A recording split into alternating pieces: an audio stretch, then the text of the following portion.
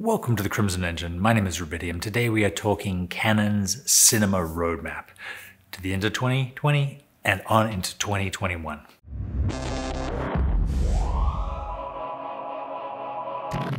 So at the moment that I'm recording this, Canon has uh, quite a few cameras in the cinema lineup and a couple cameras that are coming in. Uh, but what we'd like to talk about today is what's what hasn't been announced and what you know different rumors are of and what the logical progression of Canon's lineup is going to be. So right now, uh, at the low end, we have the C200, this camera. Then coming in, uh, already announced and launched in December, we have the C70 at $5,000. Then you have the C300 Mark III at 11,000, the C500 Mark II at 16,000. Then you go up into the uh, C700 and C700 full frame uh, that are in the 20,000s, uh, but will, you know, not too many people are shooting on them, not too many people are buying them, and all of the interesting stuff is happening in that uh, sub $10,000 range. So the C70, if it sells well and is successful, the rumor is that Canon has two more bodies uh, well, two more models that are using the same body with different sensors. There'll be a C50, which will be a $4,000 camera or $3,500 camera with the sensor of the current C200. And it will shoot, probably not RAW, well, definitely not RAW, but it'll shoot maybe a 422, maybe a 420, uh, but it won't have DGO and it will be Super 35. Then you have the C70, which is the C300 Mark III's DGO Super 35 sensor with the option to go full frame um, with a EF or PL to R converter. Another camera that's been rumored and makes a lot of sense is a $7,000 C90 with either the C500 Mark II's uh, 6K uh, full frame sensor or a Super, 30, Super 35 mm sensor that is 8K, so a more dense, doubly dense version of the um, C70's C300 Mark III sensor. So there'll be uh, three um, compact cinema cameras, the C50, C70, and C90, and there'll be three digital, full-size digital cinema cameras, well, four full-size digital cinema cameras, the C200, the C300, the C500, and the C700. The big question is, will the uh, C 200 Mark II come out? And if so, what will what improvements will they make? And if so, uh, what will the price be? Well, I'd like to, you know, my best guess on this is that there will be a C200 Mark II because the camera's sold so well.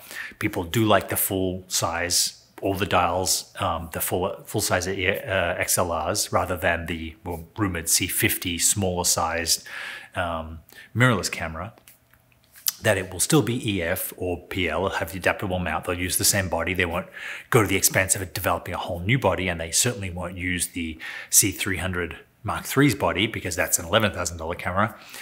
Uh, but they will probably put some kind of 422 10 bit in the camera, um, and it will probably be around five and a half, six thousand dollars as the original C200 was before it got the price drop to five thousand dollars. So you'll have, in price wise, you'll have the C50, the C200, uh, the C70, the C300, and then um, the C90 and the C500. Though maybe the C90, because of the small size body, depending on the sensor, will be, you know, sub $10,000. It's, it's hard to say. Only Canon knows what percentage of their camera price is to do with the sensor um, cost. They're the ones that buy these things. They're the ones that calculate it. They may choose to make a loss on a camera in order to um, get market share.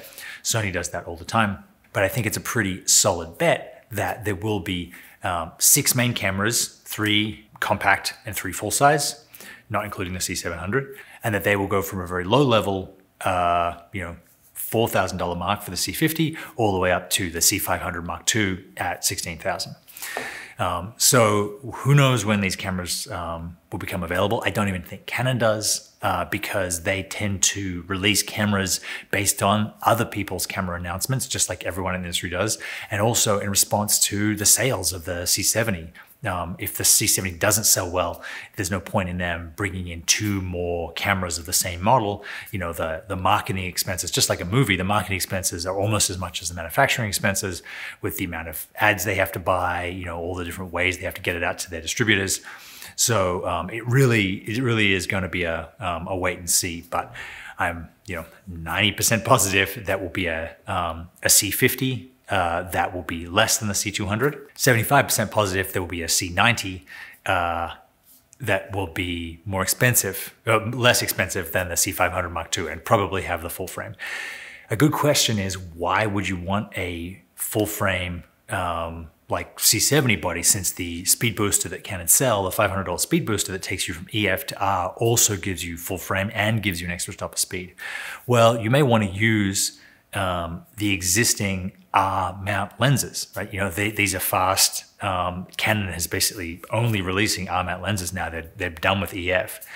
Um, so if you want an, a, full frame R mount, uh, there is no R to R adapter for, to full frame, no, no R to R speed booster. So you will have to go up to um, something like uh, the C90 that's the, um, if you want full frame, and a lot of photographers do, they're a lot used to it, they're used to using their same lenses. So it may be more of a specialty camera, um, but uh, it's definitely out there. There is a lot of rumors about the 8K and 12K versions of the C300, um, whether that's a C300 Mark IV. In my opinion, it's probably more likely a specialty C300 um, that's specific to broadcast um, standards because the the 2020 Olympics in, were meant to happen this year in Tokyo because of COVID. They've been postponed until next year. Uh, they were scheduled to be broadcast in 8K. So you do need an 8K native camera to, you know, shoot those with a C300 and then, uh, you know, broadcast them live from that camera. Canon already has a bunch of cameras that uh, are specialty cameras for specific uses, almost industrial uses. Um, the ME20SH, I think it's called, is a full frame uh, boxy camera. It actually looks like the Red Komodo, but it's you know five years old now.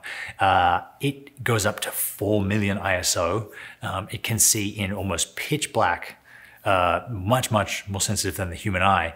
But you haven't heard of it because it costs thirty thousand dollars. It's it's for a specific use. I'm not sure what that is. I actually got to play with it um, way back when when someone was reviewing it, um, and it's really weird to be shooting a conversation in pitch black where the actors can't even see themselves, but the camera can do fine.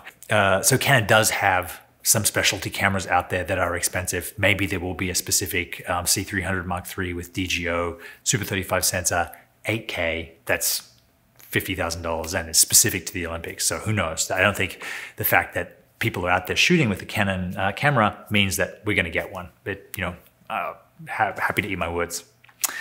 If you have a C200 or C500 Mark II, I have a masterclass about how to learn that camera, how to get up to speed with it, how to shoot great footage with it. Um, it covers everything, focus, exposure, um, uh, customization, uh, accessories. Um, that will be in the link below. Thank you very much for watching. Uh, you can see the links below to the cameras I talk about uh, and to the Canon Rumors article where I get a lot of this information. Um, they do they do great work. Thank you very much for watching, and I will see you next time. Thank